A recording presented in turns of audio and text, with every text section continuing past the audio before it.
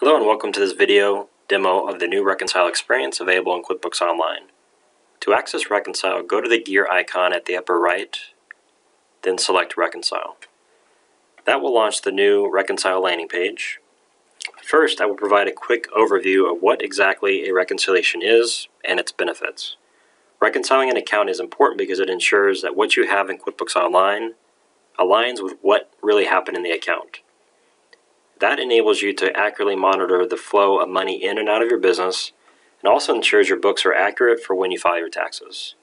This is done by comparing the statement you receive from your bank or financial institution with what's in QuickBooks Online. Today in this demo, I'm going to be reconciling a credit card account, and I also have my credit card statement out to complete this reconciliation. The first thing you want to confirm is the beginning balance matches with what you see on the statement and then you proceed by entering in the statement ending balance off the paper statement. And today we'll be reconciling the January statement period. Then click Start Reconciling. And this is the new Reconcile page. I'll highlight a few of the enhancements. Beginning with the upper left here, we have a link to the credit card register. So with one click now you can access the accounts register.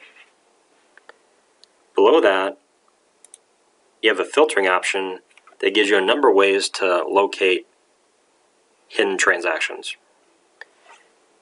For example, you can search by memo, reference number, dollar amount, or you can filter this table down to a particular transaction status type, transaction type, payee, or filter the table down to a more narrow date range.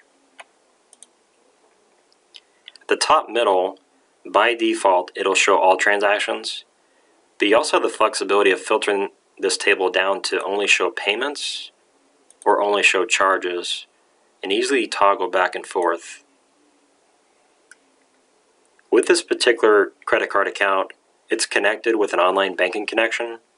So with that, the majority of these transactions, since they were downloaded, are already ticked. Transactions that aren't ticked were manually entered, and for whatever reason, we don't have a matching transaction from the bank. And at the upper right, it'll detail how we're progressing with the reconciliation. With all these transactions ticked, we have a difference of $55. Our goal is to get this down to $0. You'll notice as you untick or tick, all these totals will change if you're getting down to the end of the reconciliation and you're having trouble getting down to a zero dollar difference, number of tools to help you get to zero. First, we do provide a total for the number of charges and total number of payments, and your bank statement will provide the same. So you'll be able to compare these totals against what you see on the statement to see what you're missing. You also have an option here where you can expand this area to have more visibility on how you're getting to this $0 difference. It'll highlight the statement ending balance, the cleared balance, etc. And you can always collapse it to view more transactions. You also have a number of ways you can filter or sort this table, not only from here, but you can also sort these columns just by clicking on the column header. But as you locate transactions that need to be ticked, we're getting close to zero. And now we're down to a zero dollar difference, so we're done. At this point we can click on finish now. And that will provide a way to either view, the, view a reconciliation report or select done. And you can always access reconciliation history from the Reconcile landing page by clicking on Reconcile Reconciliation History. And that'll launch a report that'll detail all the different accounts that are subject to reconciliation. You can specify the date range and view or print reports here. Sometimes your account may not be ready to reconcile right off the bat, if your beginning balance doesn't match the ending balance of the prior reconciliation period, it's very important that you fix the beginning balance prior to reconciling the next statement period. The next account I'm going to reconcile is also a credit card account. And you'll notice we have an alert that our beginning balance does not match the ending balance of the last statement period. We now provide the tools to help you easily and quickly locate the problem transactions to correct this beginning balance. And it's done with a reconciliation discrepancy report. So if you click on this link, that'll launch the report, and I'll highlight a few things here. Uh, it will detail the transactions that are causing the discrepancy. In this situation, we have two. Our goal is to get this down to a $0 discrepancy. And in some situations, you may want to investigate what happened with these transactions. And over on the right, you have the option to view a transaction audit log.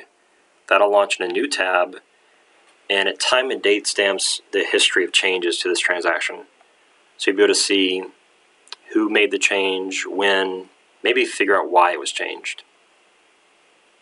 And once you've determined how you want to proceed, you'll be able to go back to the discrepancy report.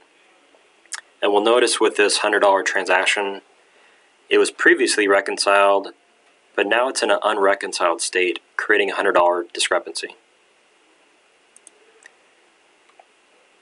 And we've determined that this should be marked as reconciled. So if you click on the uh, transaction, it'll expand and give you ways to modify it all from this report. And notice what happens once we remark this as reconciled. Our difference at the upper right will automatically adjust. So now we're down, down to a $9 dis discrepancy. We're getting close. For this remaining transaction, looks like the amount was changed. It's still in a reconciled status, but it was changed by a difference of $9. And with this particular transaction, we can either modify the amount within this field here, right click on edit, that'll open up the full transaction, and you can modify the amount here. Either way. Save and close. Since this is a reconciled transaction, we will alert you that you're modifying a reconciled transaction, and that may create a problem. In this situation, we know we're on the right track, so we can just disregard it. And now the report's gone. The alert is gone. Our beginning balance is now correct. And now we can proceed with reconciling the next statement period.